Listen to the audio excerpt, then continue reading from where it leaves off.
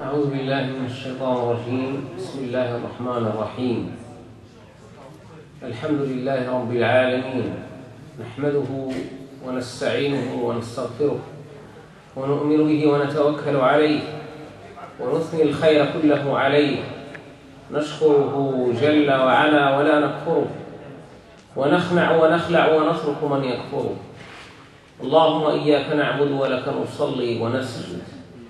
وإليك نسعى ونحفد نرجو رحمتك ونخاف عذابك. إن عذابك الجد بالكافرين ملحق. ونشهد أن سيدنا وعظيمنا ومعلمنا وأسوتنا وقدوتنا ودليلنا على الله عز وجل. الرحمة المهداة والنعمة المسداة للعالمين.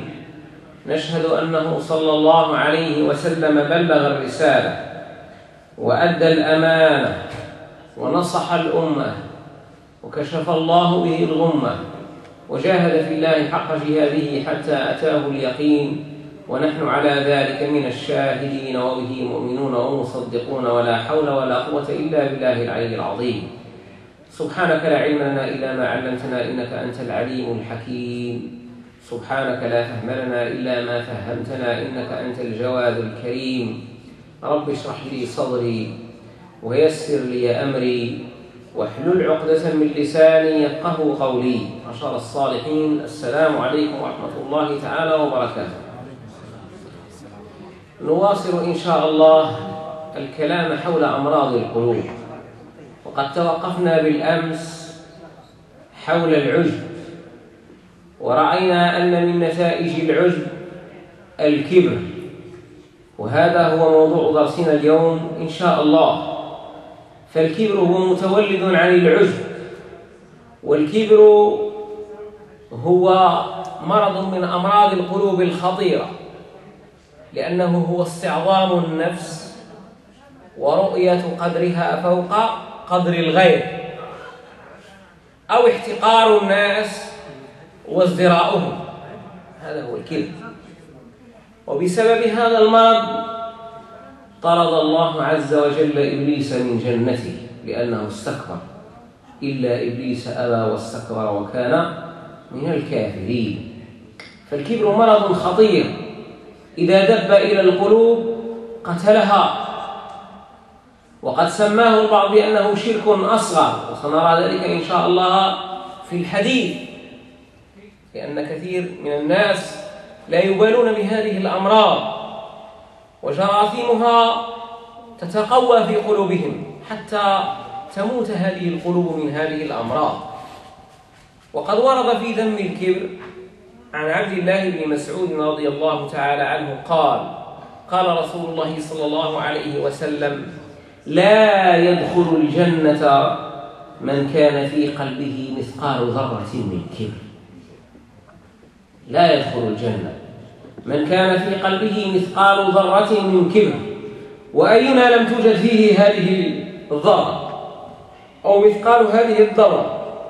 إذا فتشت لا محالة أنك ستجد شيئا. من لم تجد الكبر كله ستجد بعضه. وشيئا منه في قلبك وكثير من الناس في هذه الأزمنة معرضون عن قلوبهم مشتغلون بغيرهم. الناس في هذا الزمان هذه أمراض هذه استشرت في الأمة. أن الناس أصبحوا يتتبعون عورات غيرهم. ولم يتتبعوا عورات قلوبهم فيطهر ما بها من الأمراض. وكما قال أحد الشعراء لسانك لا تذكر به عورة امرئ. فكلك عورات وللناس ألسن. وإن عينك أبدت إليك مساوئا فقل يا عين إن للناس أعين. إنما تراه من النقص في إخوانك أكثر منه فيك.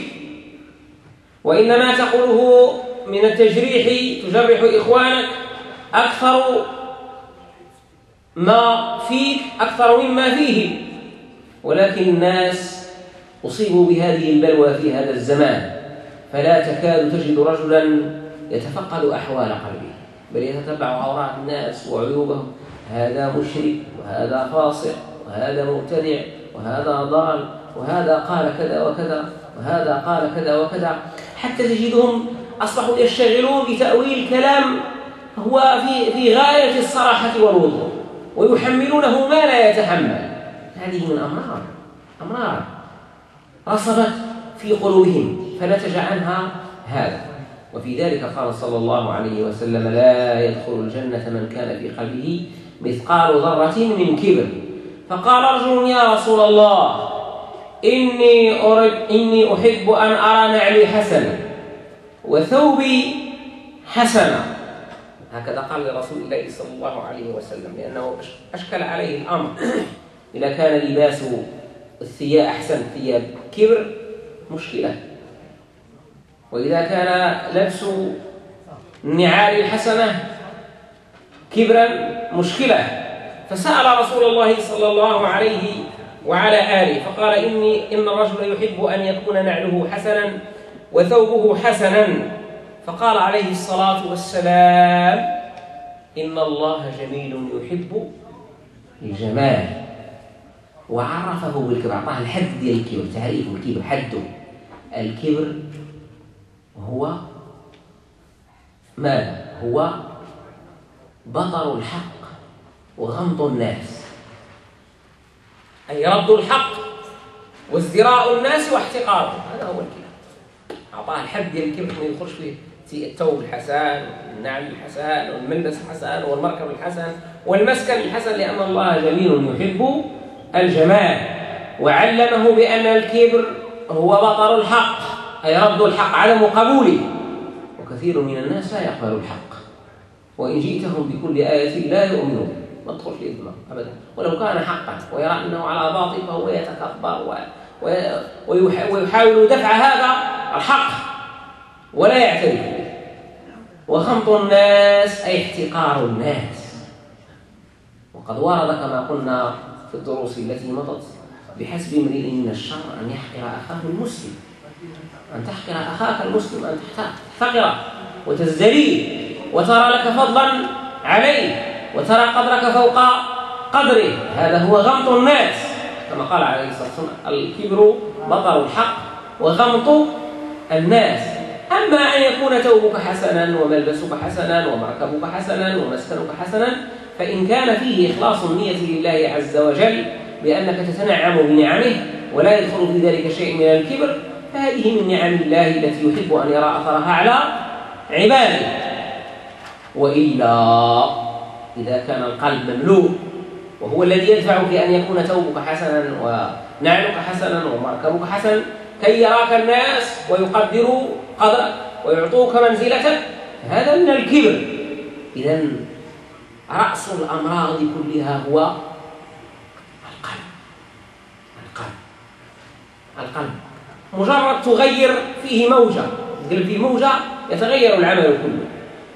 سبحان الله ولذلك رسول الله صلى الله عليه وسلم قال إن الله لا ينظر إلى أجسامكم وإنما ينظر إلى قلوبكم. يعني القلب هو محل, محل نظر الرب كما قلنا. القلب محل نظر الرب. وقد ورد أيضا في ذم الكبر وغيره من بعض الصفات الشرع عن أسماء بنت عميس. وهذا حديث مهم أصوله عليكم لأنه طويل. رضي الله عنها قالت سمعت رسول الله صلى الله عليه وسلم يقول بئس العبد عبد تخيل واختال ونسي الكبير المتعال. بئس العبد دم هذا فعل دم. دمه النبي صلى الله عليه وسلم دم هذا العبد وسماه عبد. بئس العبد. عبد تخيل واختال ونسي الكبير المتعال. أي تكبر في الأرض وبطر الحق وغمط الناس واحتقرهم وازدراهم هذا بئس هذا العبد. ونسي أن جبروت الله وكبرياءه. وهو القائل في الحديث القدسي الكبرياء ردائي فقد تردى برداء غيره لأنه رداء الله عز وجل. بئس العبد عبد تخيل واختار ونسي الكبير المتعال. بئس العبد عبد تجبر واعتدى ونسي الجبار الأعلى. بئس العبد أيضا اتصف بالجبروت طغى وتجبر. واعتدى على مخلوقات الله عز وجل ونسي جبروت الله سبحانه وتعالى لا إله إلا لأنه قادر وكذلك أخذ ربك إذا أخذ القرى وهي ظالمة إن اخذه أليم شديد. فجبروت الله عز وجل هو أعلى من أي جبروت